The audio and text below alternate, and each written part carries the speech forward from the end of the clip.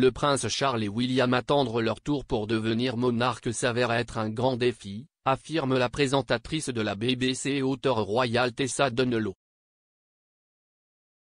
Le docteur Tessa Dunlow a parlé exclusivement à Express.co.uk de l'avenir de la famille royale britannique et a affirmé que c'était le plus difficile pour le prince Charles et le prince William, qui attendent tous deux patiemment leur chance de devenir un monarque régnant.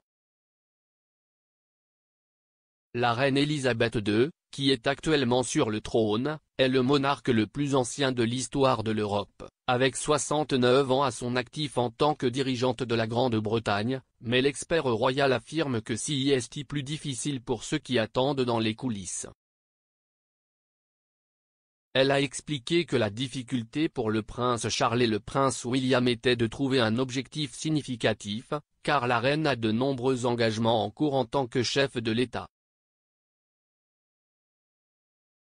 Le docteur Dunlow a expliqué, que font un roi et un fils de roi en attente Qu'est ce que le prince héritier? Si est plus facile d'être dans le gros boulot parce que tu fais tes cartons rouges, tu es le chef titulaire de la nation.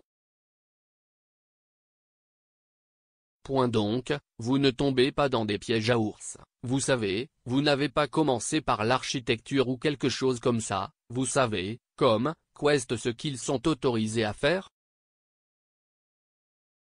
Si est très difficile, je pense que si vous êtes le véritable chef de tout cela, et que vous êtes juste silencieux, vous savez, symboliquement et silencieusement, vous savez, vous êtes l'incarnation de l'institution, mais pour ceux qui attendent leur tour, je pense que si est un grand défi et nous vivons tous très longtemps maintenant, a-t-elle conclu. Cependant, bien qu'il ne soit pas un roi régnant, le prince Charles a été extrêmement occupé, en particulier en ce qui concerne son combat de plusieurs décennies pour la planète. Il y a quelques semaines, lui et Camilla ont assisté à la conférence des Nations Unies sur le changement climatique 26 pesos colombiens à Glasgow, aux côtés du prince William et de Kate Middleton, tous deux âgés de 39 ans. Le prince William s'est rendu à la réunion des dirigeants mondiaux en Écosse juste après sa cérémonie inaugurale du prix Earthshot le 17 octobre.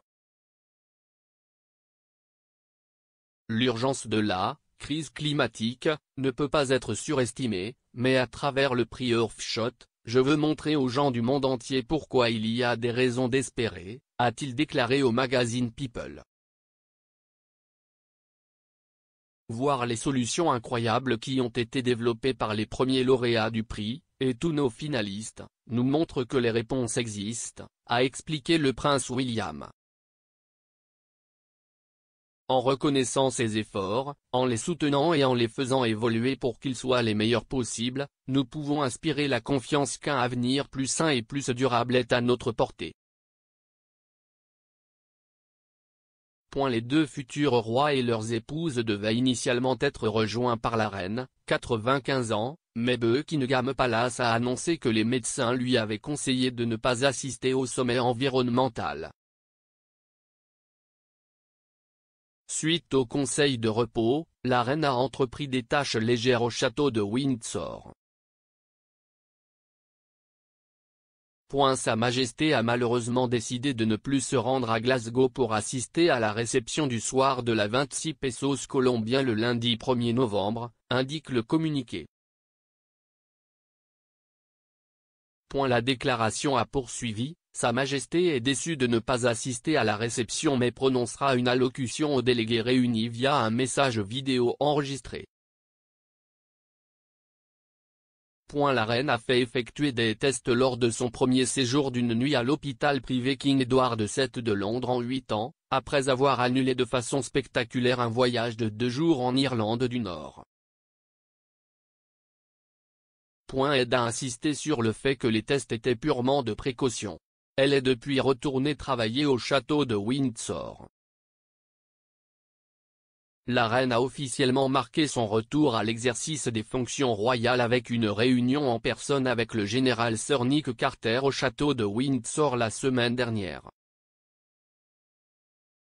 L'animatrice de Royalios, Christina Garibaldi, a suggéré que Sa Majesté préfère maintenant effectuer des tâches de bureau légères qui lui conviennent à son goût, car les médecins lui ont conseillé de se reposer.